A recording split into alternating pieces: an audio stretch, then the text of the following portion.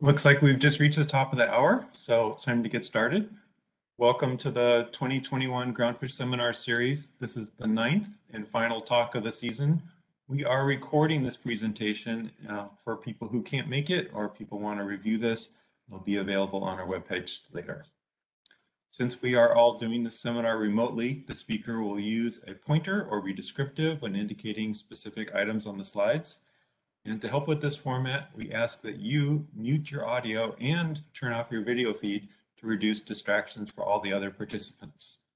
Also, please keep your questions for the end of the seminar, at which point you can unmute yourself and ask questions directly to our speaker, Rebecca. Or if you think you might forget your questions, you can type the questions into the chat box at any time during the seminar, and we will compile them to ask following Rebecca's presentation.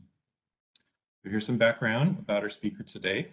Rebecca Peters is a marine resource scientist at the Maine Department of Marine Resources, where she leads the Maine, New Hampshire Inshore Trawl Survey, and that will be the focus of her talk today.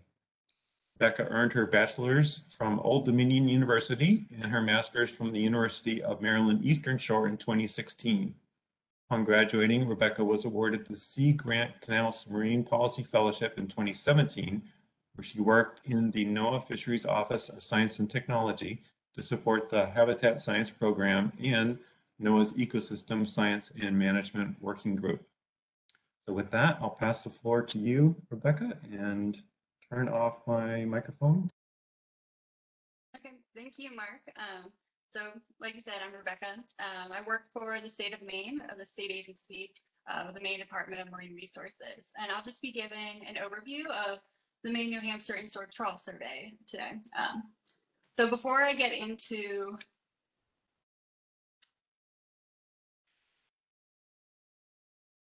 um, before I get into anything, I want to introduce um, who the Maine Inshore Trawl Survey team uh, is at Maine DMR. Um, so me, Rebecca Peters, I'm going to be presenting today, and then I also work with Bryony Donahue. She's the lead for our aging lab here at DMR, also works on the survey, um, and Lulu Bates, who she'll be taking on the lead of a project I'll be talking about later, um, looking at stomach contents that we collect on the survey. And I should also mention, since we are the Maine New Hampshire Inshore Trawl Survey, we do also also cover New Hampshire waters, and we do work with the state agency there, New Hampshire Fish and Game, um, to help complete that part of the survey. So their staff comes and rotates on the survey for that week um, to help with their portion of the survey too. So it is a collaborative survey between states. So just a brief introduction to what this is. Um, the Maine New Hampshire Inshore Trawl Survey is a fishery independent survey for all marine resources in the inshore Gulf of Maine. Um, since we do have one of the largest, or we have the largest lobster fishery here um, in the country, a lot of people assume that we are a lobster survey, but we are an ecosystem survey. We cover all marine resources um, within the inshore Gulf of Maine that we catch. Um, so this survey started in the fall of 2000. It's a biannual survey, so it's conducted in the spring and fall every single year. We try to, in the spring and fall, we try to overlap with when the NOAA Bottom Trawl Survey is in the same region, so it's comparative between surveys. Um, and so our survey will in the spring, it happens in May and until the first week of June, and then in the fall, we're out in the last week of September until the um, to the end of October. And our survey lasts five weeks every um, in each spring and fall. So when our survey was getting up and running, uh, there was an external technical review of the survey, and that concluded in 2005 and concluded with the results that we have a strong scientific survey program. So our data is very useful and can be very useful for the stock assessments and management of all the species that we um, see in the Gulf of Maine. So one important um, aspect of our survey and why our survey is so successful and able to be conducted in the inshore Gulf of Maine is because we're a collaborative survey. When this survey was getting up and running, the um, the original survey crew um, that was designing the survey, they worked really closely with the commercial fishing industry to design the survey. They had, and the commercial industry had direct input in um, our survey area, where um, and what our gear type was that we were using. Um, also, our survey is conducted on a commercial commercial fishing vessel um, every year, we use this as our survey platform. And we work actively with the captain and crew of this survey uh, when we're picking tows for uh, each survey to make sure that we can get them all done. And then the crew that works with us on the survey, they actively help us in catch processing and data collection too. Um, and one, the only way that our survey can be successful in these waters, because like I said, we have um, the largest lobster fishery in the nation. Um, it's a fixed gear fishery.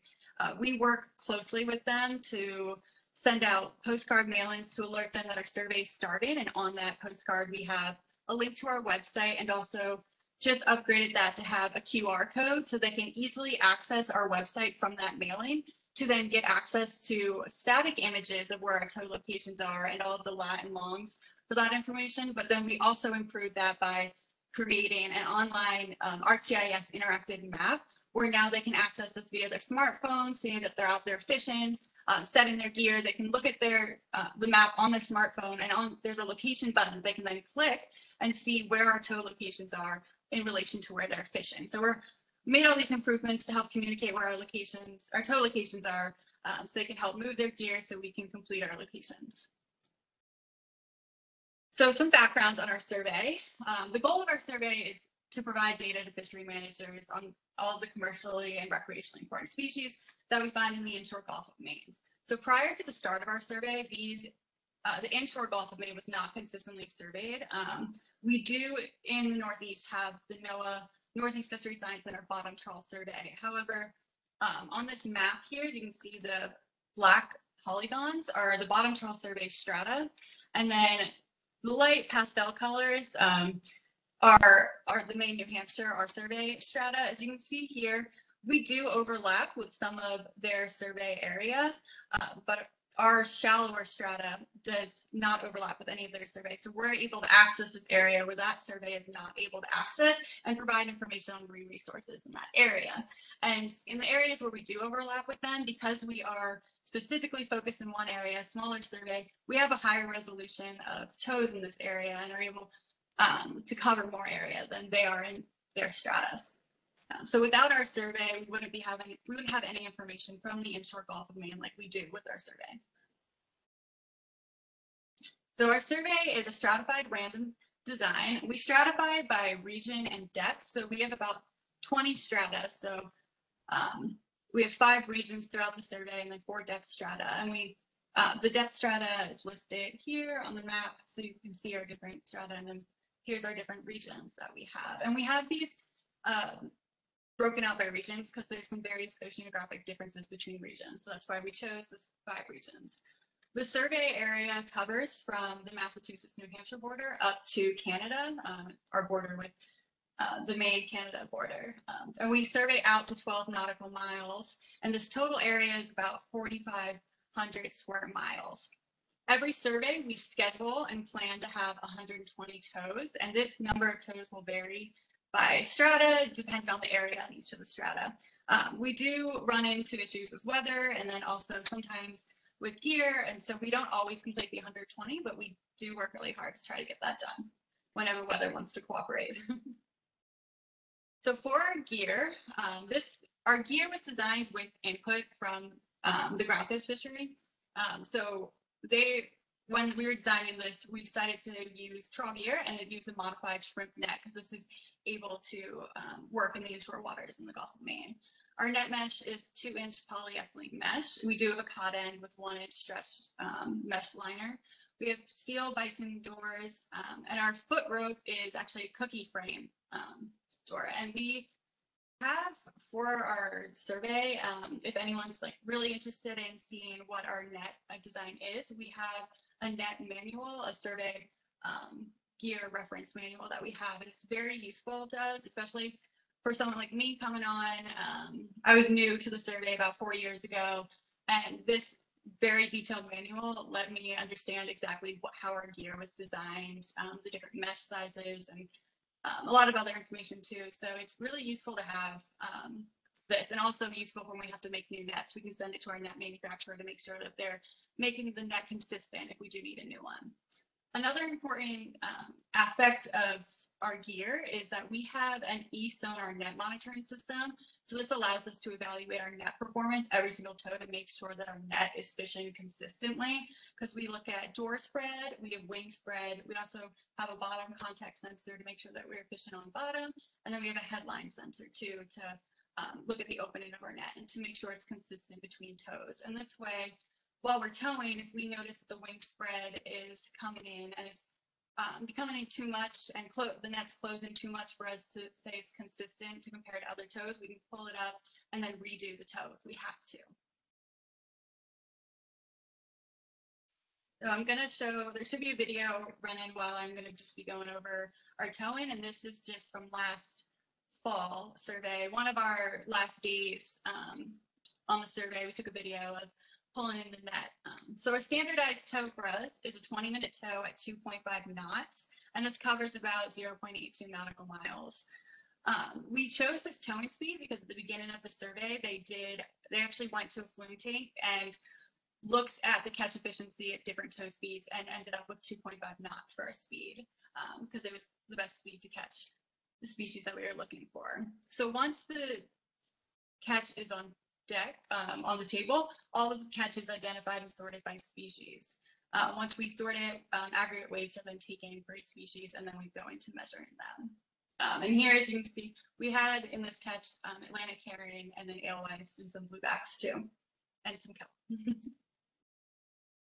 So some of the data we collect, um, so we take aggregate species weights of all the species that we catch after we separate them, and then we take lengths on all the species. So for our finfish species, this is, we say total central length, um, and we take it in centimeters, but it's either fork length or total length, depending on the species. And then for any invertebrates like lobsters and crabs, we measure those in millimeters for carapace width. Um, and we have some species like northern shrimp that we take back to the lab and work up in the lab because we need to work on identifying their sex and then also taking their carapace length too. Um, and then for selected species, we take age samples. So we take their otoliths, uh, we take maturity data, and then we'll also take individual weight. So since we are a small survey, we can't take maturity and age data on every single species that we catch. So we only have select species that we take this data on. Um, and it can vary by the spring and the fall. We have four species that we take from both spring and fall, and then other species that are different between spring and fall. And we try to overlap the best we can with their spawning season to take this data, but because we're limited by the months that we're out there, we do the best we can with that. Um, so for otoliths, we take one otolith per one centimeter length bin, and then we take a maximum sample of 25 from a tow for any of those species. And prior to the start of the survey, we do set um, a total sample size for the whole survey of what we need. And then the otoliths are processed back in the lab, um, which we'll go into next. So this aging lab, this is run by um, Brian Donahue, and her contact information will be at the end of this presentation. So if anyone has questions about any of our otolith work, um, please send them to her because she is um, the otolith ex expert for us. Um, so our aging lab is where we work to digitize, age, and then create our age length keys for all of our species. Right now, um, we're working through a backlog of about 18,000 otoliths from past surveys. So we're trying to get through those, and we've gotten through species um, so far this year that I'll go on and go over in this presentation. Um, and for our otolith work, we are trained by the aging group at the Northeast Fisheries Science Center, and we use the same processing methods. Um, and we're trained also, they've trained us in the aging methods too, so we can remain consistent, as consistent as possible as we can with them. Um, so here's an example of our setup um, and where we set the otoliths in wax, and then we section them with an isomet low speed saw. And we go back and work on digitizing them and then aging them. So here's an example of a haddock that we have um, we've aged. We've gotten through all of our haddock. And I know not everyone digitizes their otoliths, but we do it since we are all new. So we want to be able to create a reference collection for us. And when right now, Brownie's working on setting up a precis precision test for us with haddock to make sure that we're remaining consistent and aging correctly um, between DFO and the Northeast Fisheries Science Center for the species. So also on the survey, we collect environmental data. Uh, we have a seabird CTD, so at the end of each tow, we drop our CTD down and um, take samples of the whole water column, but for our data, we specifically just look at the surface and bottom data. So throughout the survey, we've consistently taken water temperature and salinity data at each of our sites. But starting in 2021, we added some more sensors onto our CTD, and we are now taking dissolved oxygen, chlorophyll, turbidity, and pH. So we'll now hopefully be able to create a time series of that data to see if there's any changes and be able to relate some other habitat characteristics to some of our distributions of species. Um, so here we have an example of our spring average water temperature that we have seen in the survey over time. Um, the solid line is our bottom temperature, and then the dashed line is our surface temperature. And it's pretty variable over time. And these solid line, the solid blue line here is the bottom temperature average for the time series. And then the dashed line here is the surface temperature average for the time series. So you can see um, in 2021, we had an above average year. And what's notable here is we do have a missing year. So 2020, um, I'll talk about that next. We did not have any data collected, um, but it's going to why we didn't have that. So like most surveys and around the nation, um, we had the COVID-19 impact on the survey. And in spring 2020, we did not have a survey, just um, with everything being so new. But um, in fall 2020, we were able to get out and do our survey, uh, which with different um, protocols out there. So we had reduced staffing. We normally sail with four scientists, two crew member, and the captain, and we went down with just three scientists and one crew member and the captain. We did shelter at home. We had PCR testing before the survey, and then we also did symptom tracking throughout throughout the survey too. Um, we kind of for this it created a bubble with our team. Um, we kept the same team throughout the survey um, and reduce the amount of interaction outside of that as possible for this. However, in our fall 2020 survey, we were not able to collect maturity or any age data just because of the time constraints of having less people. But um, with this this year in spring and fall, it mostly got back to normal. Um, we still used testing and we went back to our four scientists, um, but we still kept the reduced crew because our crew and captain do sleep on the boat. So we felt it was better there's just less people sleeping on the boat at least. Um, we got back to taking our age and maturity samples. And in addition, we also took stomach samples. Uh, I'm going to go over this project in the next few slides um, that NOAA has and that we just started, but we weren't able to take some of the sample stomach samples in our 2020 year just due to age too, or due to timing. So to show some um, results from our survey of what we see, I broke this out by our spring and fall survey of just percent catch biomass um, in the plot on the left, and then also in the table is the top five species that we've caught in the spring survey since 25, 2015 until now. Um, this, that's the average catch number per tow. But what's interesting with our percent catch biomass is we see this change from the beginning of the survey of where we did have um, a lot of our biomass being from herons. And then once we got into 2011, we do see our um, biomass being dominated by lobsters um, since there was a, lobster uh, population increase. So we started seeing more lobsters in our survey after 2011. Um, but when we look at the average catch of number per tow, um, especially just from 2015 on, we've actually had uh, our top five species are Atlantic herring, silver hake, um, two shrimp species, Dikilo and um, Montague, and then alewife too. We see tend to catch a lot of those during the spring survey. And then in the fall, it's a little bit different. Um, some of the same species that we catch the same, but you can see on the right is now our percent catch biomass for the fall. And we see where here we catch more gadids for um, in biomass. We have an increase in gadids, and that is actually driven a lot by silver hake and also the fact that we tend to catch larger gadids in the fall than we do in the spring. So we see larger white hake, red hake, larger silver hake, um, larger haddock too in the fall than we do see in the spring. Um, and then we see our lobster biomass isn't as large as it is in the spring, but they are, they then pop up in the top five um, species that we catch. And this is mostly because we do tend to catch a little smaller lobsters in the fall, um, just because there's more juveniles and young of the year during this time. Uh, we don't exactly catch young of the year, but uh, we're able to catch more juveniles during this time. Um, so we catch, tend to catch smaller ones and have less biomass than of them, but we there's just more of them that are too.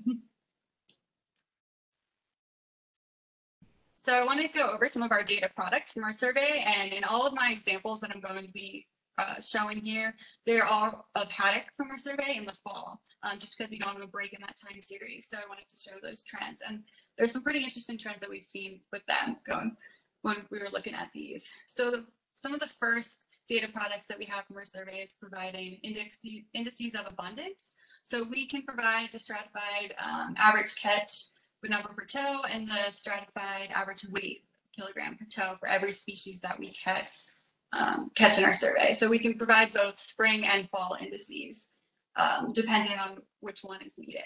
So here, uh, we thought it was interesting with haddock is we see a large increase in 2013 and 2014, and we'll see in the next slides what this is driven by, but then this year we also saw a large increase between 2020 and 2021 for haddock too, uh, with a slight increase in um, mean weight. So in the fall, um, just to explain these graphs, the top plot here is the average catch number per tow, and then the bottom plot here is the average weight with the kilogram per tow, and the shaded region is the 95% confidence interval. So we can also provide um, average catch length data for all of our species and look at these length frequencies to see what we're catching. Um, so like I said in the previous slide, we saw this big increase in haddock um, 2013 and 2014, and then again in 2021. And what's interesting is we see that this the 2013 um, increase is driven by this 10 to 20 centimeter length group. And then in 2014, we see that it's being driven by the 20 to 30 length group. And what we see here is that we're catching a large age zero year class, which I'll show in some other slides too. But it's exciting because in 2021, we saw this large increase between the 10 and 20 um, centimeter bins. And remember catching a lot of 18 centimeter haddock out there this year, which is exciting to see another possibly large year class come through. So with haddock, since we do take their maturity data, we're also able to provide um, the length of 50 percent maturity for them and the other species that we do take maturity data on. Um, we follow the same protocols as the NOAA bottom trawl survey does. We um, use their same maturity scheme to classify our species. We classify all of our maturity out on the vessel. We don't take any samples back yet to classify under a microscope. Um, but so we just classify by immature, developing, ripe, ripe and running, resting, and then spent. So for all these species, like I said, we're able to um, evaluate this and look at the length of 50% maturity for the inshore Gulf of Maine for when um, these species are caught more inshore waters, especially for some species, we're seeing they mature at smaller sizes in the inshore area versus some um, the offshore areas where they're maturing at larger sizes. So for haddock here is an example of where from our data, we're finding that their length at 50% maturity is around 31 centimeters. And for males, it was around 25 centimeters. So next, um, because we take age data for haddock, we're able to um, look at what ages we're catching throughout our survey and then possibly follow those years plus through our survey. Um, so in 2021 or early this year, we completed aging all of our haddock otoliths that we had up until 2019. We haven't gotten back to the ones that we collected in 2021, but because we know most of them were in that 10 to 20 centimeter length range, um, we have an idea of what age they're going to be, which is age zero. Um, so this plot over here shows the fall survey ages for haddock. So age is on the x-axis and then year is on the y-axis. Um, so as you can see here, we found is we do, our survey mostly catches age zero and age one um, haddock. However, in more recent years, we have been seeing older haddock, which is really exciting. As you can see early on in the survey, we didn't really have any haddock that were over the age of three or four, um, where we're starting to see those large um, older ages in our survey now. And with 2013, that large increase that we had, um, that was really dominated by the age zero year class. And now we can see it move throughout our survey too. Um, so we're excited to get to age, um, to look at the 2021 ages to see if they're all age zero, if there's any age ones there too, and then hopefully see those throughout the survey. So when I was looking at our ages this year, when we um, entered everything and got to pull it out, I was interested to see where those age zeros were being caught, um, where they were dominated for. So, or where that um, group is down, where it's dominated in our survey. Um, what was really interesting when looking at this is we found that a lot of our age zero for fall 2013, um, they were actually caught in our down east regions of the survey. So regions four and five. This is Mount Desert Island right here, where Acadia National Park is. So these this area right here is what we refer to as down east Maine. Um, so as you can see, this is age zero um, haddock catches, and we have a lot that occur in down east Maine. And then with this plot, this is age one, and where the catch distribution is age two, and then age three. We that year we didn't have any older individuals. Um, so I'd be curious, or I'm curious to look into this further, or if anyone is on this talk that knows uh, a lot more detailed information about the haddock population, why they might be um, concentrated in this area, and then um, I'd love to hear that, or I'm excited to look into it too. Um, and then we're able to then look at this data in other years to see if the larger individuals are being caught in southern Maine, and maybe this area is a good nursery area for um, the haddock population. But it's just interesting trends that we can investigate with our survey data. So now I'm going to talk about two research projects that we have ongoing with the survey. So when we're out there, we're collecting um, samples for these projects. And the first one, this is a project that NOAA is leading. Um, they come out with us for the survey to collect their samples, and then we work and share results between each other, just so we know what the results are. Um, their project is looking at groundfish consumption of river herring in Merrymeeting Bay and Penobscot Bay, and I'll show you guys where those are on the next slide. Um, the lead for this project is uh, Tim Sheehan. So you can, his email address is here. If anyone has any specific questions um, about this project, you'll be able to email him. Um, but this project was started in 2012, and the goal of this project is to quantify the contribution of river herring to the diets of inshore Gulf of Maine groundfish. The reason why they wanted to do this was there were dam removals in the Kennebec and Penobscot River. Um, they wanted to see if then the increase or hopefully increase in river herring populations would then increase um, in groundfish diets to help with bring back some of the groundfish that have declined in this area. So like I said, this they work in for this project in the Merrymeeting Bay and Penobscot Bay. So over here is the full state of Maine and um, these lines right here denote our regions, so regions one, regions two, region three, region four, region five. So they focus specifically just on our regions two and three. So they only collect samples from these two regions. Which, so here's the Merrymeeting, region two is the Merrymeeting Bay location, and then region three is the Penobscot Bay location of where they're collecting samples from. So these areas are, are where um, are the offshore parts or offshore areas of where the rivers will, um, the rivers that they remove the dams from uh, go into. So that's why they focus on these areas specifically. So like I said, they focus on collecting groundfish in those regions in two and three of the survey. The primary species that they look for um, are Atlantic cod, spiny dogfish, and monkfish. Um, they also have secondary species that they collect stomachs from, just silver hake, white hake, and red hake. Some of the preliminary results are promising. They do find that 73% of river herring are consumed in the Merrymeeting Bay location, so that's our region two of the survey.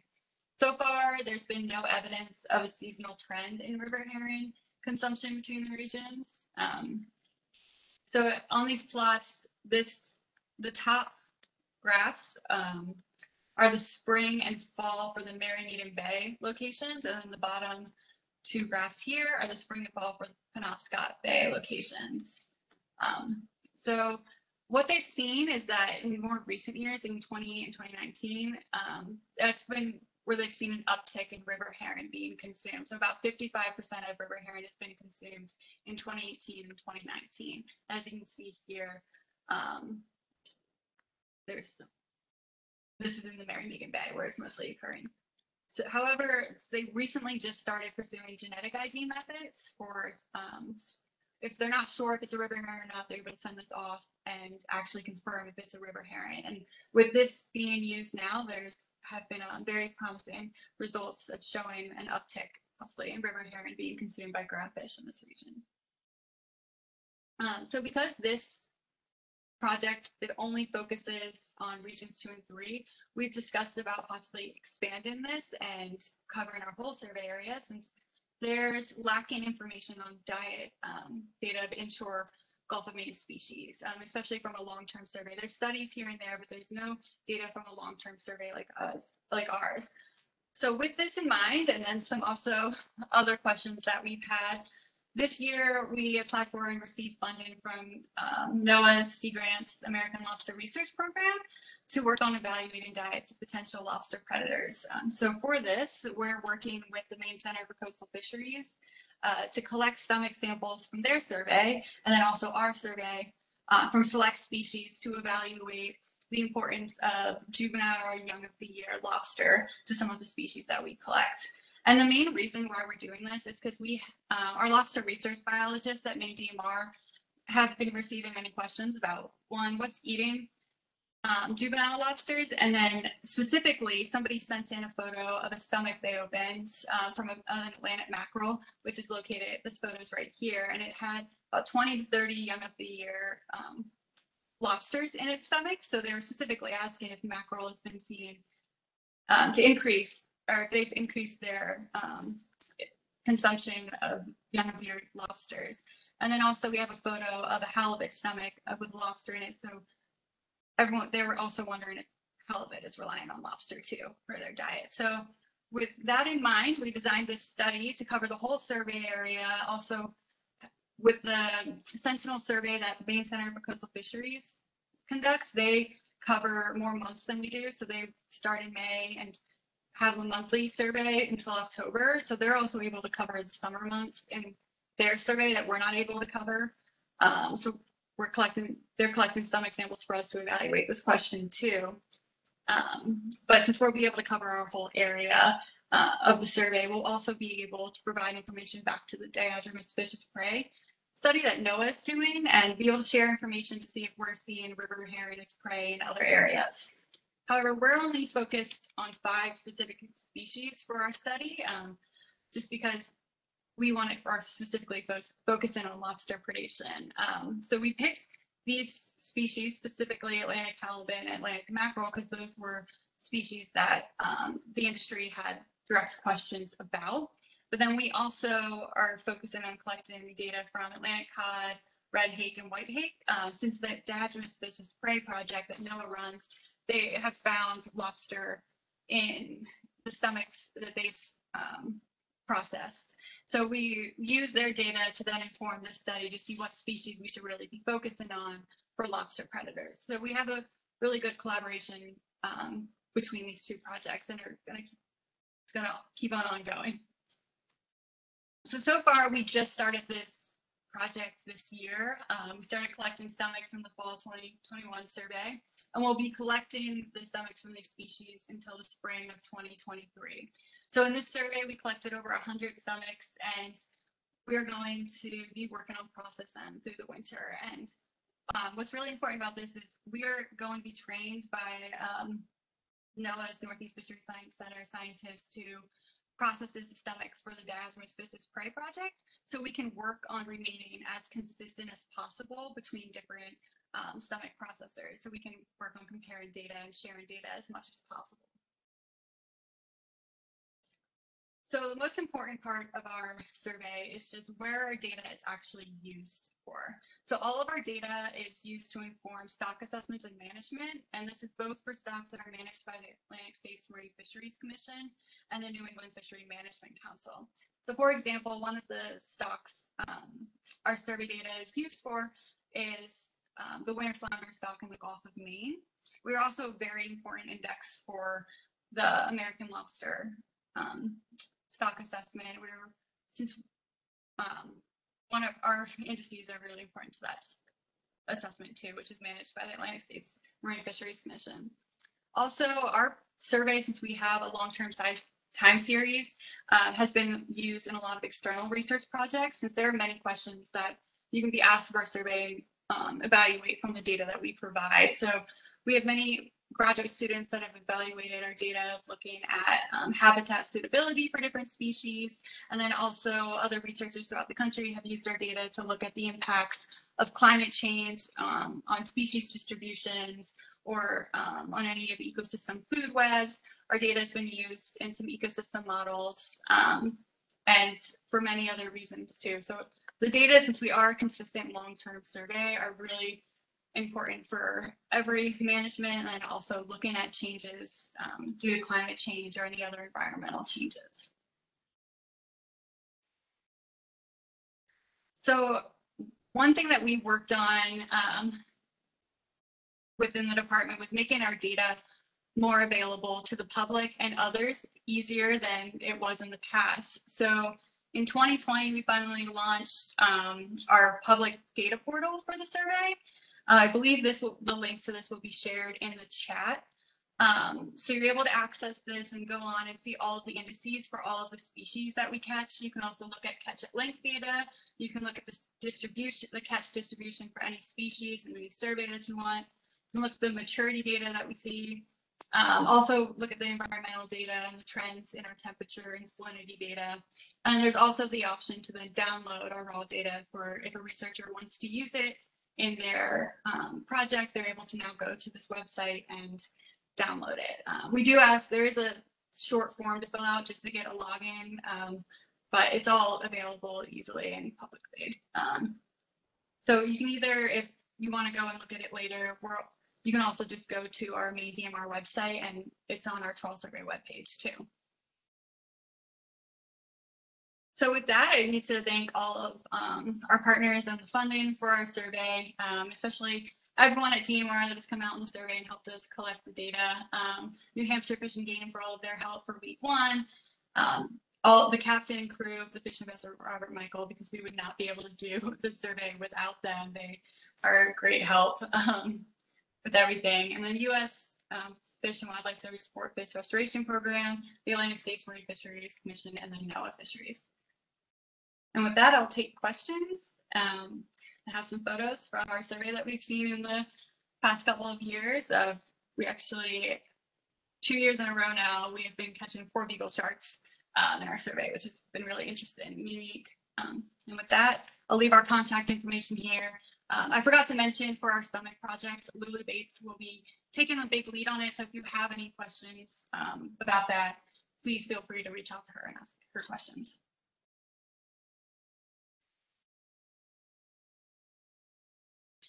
Well, thank you for that great presentation, Rebecca. I really appreciate you accepting our invitation to talk to us and doing it so soon after returning from your fall survey. So thank you. Um, I don't see any questions in the chat right now, but I'd like to invite everyone to unmute their microphones and ask questions directly if they have something they want to ask. Um, if not, I was curious um, if you could talk a little bit more about your eSonar uh, data system, and um, it's different than what we use in Alaska. And um, wonder if you could just uh, chat a little bit about uh, how you how you visualize that data and then how you use it in the processing later on. Yeah. Um, so the eSonar program comes with um, a visualization of where we can look at um, the pings for the door spread, wing spread, um, bottom contact, and headline height. I wish I had a photo of screenshot of what it looks like. Um, but uh, there's a hydrophone listening for it, and when it, it when the net is out in the water, we can see the pings coming through, and we know that our um, what the normal wing spread and door spread should be. So it's about like 90 feet for door spread, and wing spread is 30 feet. So we watch that line to make sure it's staying within that um, range of what's normal.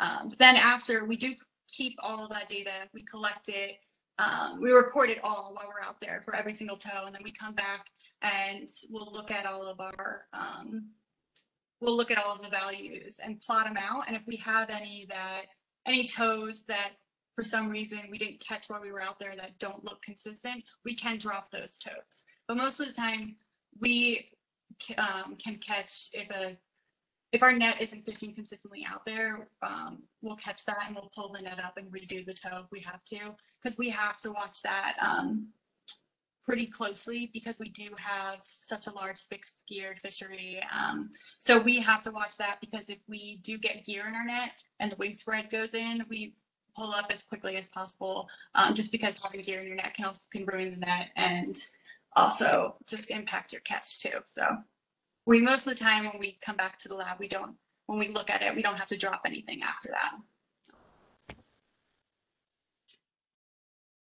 Okay, and then there is a question in the chat from Kurt saying he joined late and he's wondering if you had a slide showing lobster trends by year and season. I did not include any lobster trends on this um, plot or this um, presentation, but um, there's other presentations that I have that data for, and if you're interested in seeing those, um, I can send them to you. It would also be available on the uh, data On the webpage data, that you had. yeah. For your tows, I wondered if um, you were using uh, just distance fished or area swept, and if you had area swept, was it the doors or the spread? We don't use, so for our um, indices, we only do area swept when, if the stock assessment scientist like asked me specifically for it, because right now we're just doing number per tow, we standardize it by time, uh, by the 20 minutes. Um, but we can get the area swept through our um, e-sonar um, by doing either wing spread or door spread, and it depends on the species. Um, so if they, if one species assessment was door spread, we could do door spread. Most of them are wing spread, though, and we have to do when we do area swept indices. But so we do have that um, available to do, but we don't pull our data and show it as area swept right away at first. Okay, interesting. And I wondered if you had had an opportunity to compare the trends in um, fish abundance in, uh, to the offshore survey and if they're the same or, or different. We had a few, one species we did that on, um, I did not specifically do it, but the scientist that was in the job before me did. Uh, they did look at that for lobster and they did find that they were different. So that's why our um, indices were then included in the lobster stock assessment. Um, so those were found to be different, but we haven't, I haven't done um, my own analysis between surveys. is something I'm interested in looking at for different species, especially because um, with having some of our age data now, I'm curious of how it look compares to other ones. Um, but it's, others may have done it for um, their research projects, but I haven't done any specifics yet for that. Okay, and then um, I had wondered, question that all the biologists are wondering, how long does it take you to process each tow? Uh, it depends. There's some where we, it can take an hour for some, um, up to, depending on what we get, because lobster, we take additional data on and we do that all through recording. So if we get a large lobster catch, that's what we're processing first, and that can take a while, depending on what we get. Um, we have gotten catches where we, since we are an inshore survey, we catch a lot of small fish. So we'll catch a lot of small fish of Atlantic herring, alewife, um, and blueback herring.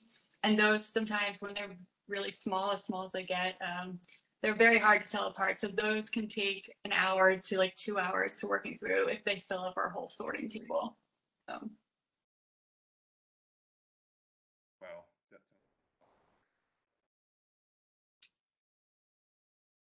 Anyone thought of a question they want to ask Rebecca and willing to unmute themselves? Hey, Rebecca. It's uh, Adam Cook. I'm with the Department of Fisheries and Oceans here in Halifax, Nova Scotia. Um, we do the lobster stock assessments in our area and have a very similar survey that we're doing in the Bay of Fundy and inshore parts of um, southwestern Nova Scotia. And we're really interested in seeing what you're doing and how similar our two surveys are. We should really chat about, you know, how how we can integrate some of the data or see if how similar some of the trends we're seeing are. Um, we actually were using that eSonar system too, and uh, abandoned it last year because it just it was not working for us at all, and have moved to a different system. So interesting to see how how well it's working for you, and if you've had any any solutions for things that could help us out. So fantastic presentation. Thank you for sharing. Yeah, that would be great if we could um, connect and talk about like what we're seeing, like differences or anything. Because I've been wondering when we get up to close to Bay of Fundy, um, our catch is really interesting. We tend to be more diverse sometimes. Uh, so I'd be interested to talk to you about that. Um, and with eSonar, um, we have figured out some tips, some tricks with it. Uh, we have also thought about abandoning it because it can be some issues we the most recent survey we had um, we found i don't know if this worked but if you didn't put your computer to sleep um, it actually worked the whole survey. We did not really have any issues with it as much as we've had in the past. So that might have helped fix some things. Um, so we could talk about that too because we've been we i've gotten multiple emails from eSonar to help of different tricks to try to get it to work when it doesn't want to work Super. Look forward to chatting. Thank you. Yeah. Couple questions now in the chat. One is from Dan Garatea. He asks, how do you handle excessively full nets like a deck tow? How does that uh, change your sampling? So we we've still processed all of them of where we've sorted and um, and work through all of them, but we do have subsampling methods for them. So especially for when we have a large catch of herring, we for subsampling, like we only measure up to 100 of um, large catches and then do expansions um, to get our total number and everything. Um, but when we've had some deck tows and we're luckily with those, it's mostly because the fish are larger. So it's not that there's generally more fish, it's just larger fish. Um, so we can still, we still have enough time to sort through those we had to, we've developed subsampling protocols for lobsters for if we do get a large catch of those, because we have gotten a very large catch of them before where um, we had to create the subsampling protocols for, um, but we do have ways to subsample species um, to deal with any of those large ones.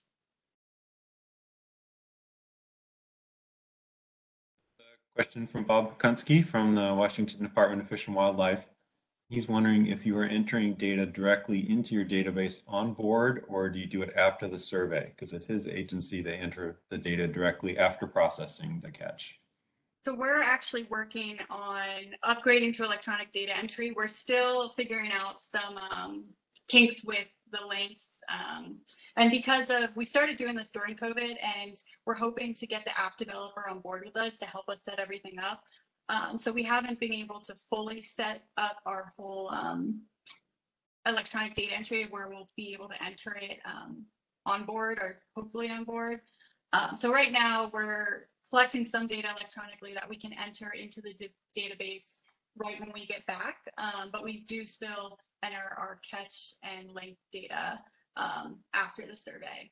So, but we are, our goal is that not to happen in the next few surveys and to fully transition to electronic data entry. Are your your observation and data entry solutions? It sounds like you're developing a lot of that in-house or off the shelf stuff. We have went with um, we a survey another survey on the East Coast uses a program called Feed. So we're it's not developed in house. We're um, going with a different with an app um, and measuring board that same similar measuring board that they use. Um, so we have some issues with our since we do um, charter a commercial fishing vessel. It's harder for us. We don't have as much space as other surveys do with um, for their electronic setup. So we just have to rethink of how we're setting everything up. Um, and we've gotten help from other surveys on the East Coast that have similar situations as us um, to get help into how we can think through setting up our data, or setting up our processing and measuring boards, just because we have to break everything down at the end of every single tow. Uh, we'll have to move everything off the deck so we can then do our next tow. So it's just thinking through those logistics is the hardest part. Um, not actually having the boards and app system. It's more of just how to set it up is the hard part. It looks like Kurt has unmuted himself. Did you have a question, Kurt?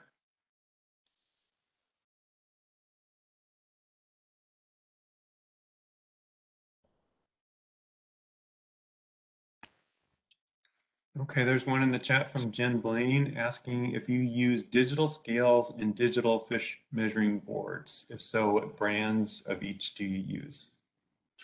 We use uh, Marel scales, um, and then for the fish measuring boards, um, they're Big Fin Scientific boards that we're going to be upgrading to.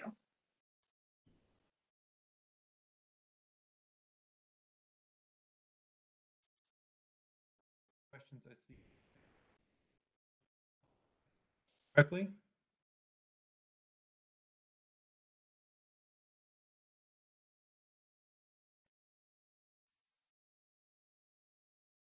Getting thank yous coming in and yeah, again, thank you Rebecca for sharing your, your trawl survey with us. Very interested in how you're solving these problems because we're all facing a lot of the same difficulties um, doing this work.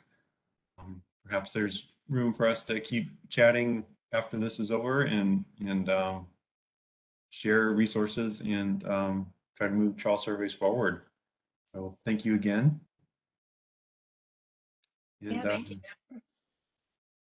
and thank you to everyone for joining this seminar and the seminars that we've had this year. It's been a great year for us and um, hopefully we'll be back again next year. So thank you.